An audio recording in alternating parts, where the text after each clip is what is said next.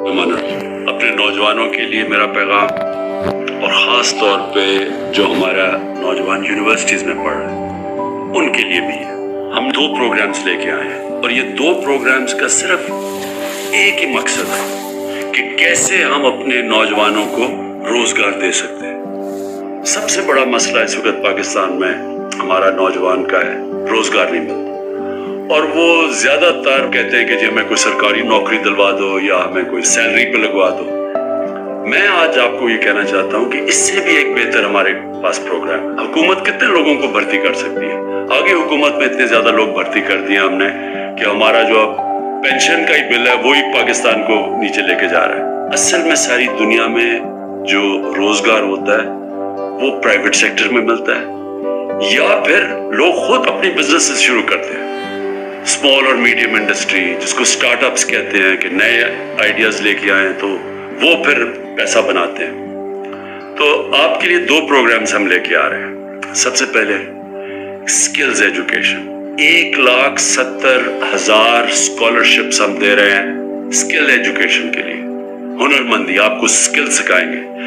اس میں سے پچاس ہزار ایسی اسکالرشپس ہیں جو ہائی اینڈ اسکل ہے۔ مثلاً جو لیٹسٹ ٹیکنالوجیز ہیں۔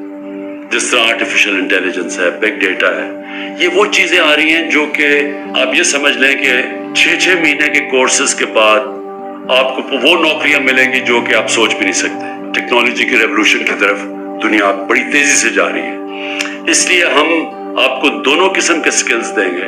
ہر کوئی یہ ہائی اینڈ جو ہائی ٹیکنالوجی کے جو سکلز ہیں، وہ ہر نہیں کر سکتا۔ لیکن پچاس ہزار ہم نے ایک سال کے اندر آپ کو موقع دیں گے۔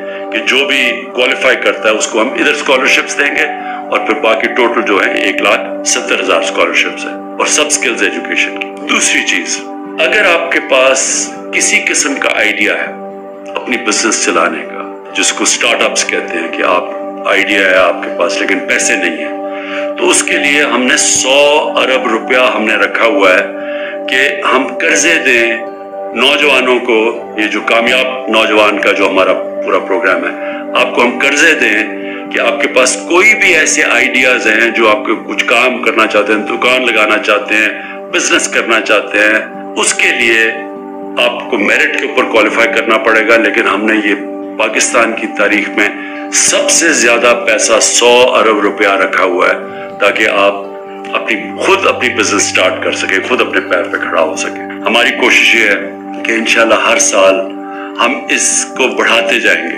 تاکہ ہم اور زیادہ نوجوانوں تک پہنچ سکیں۔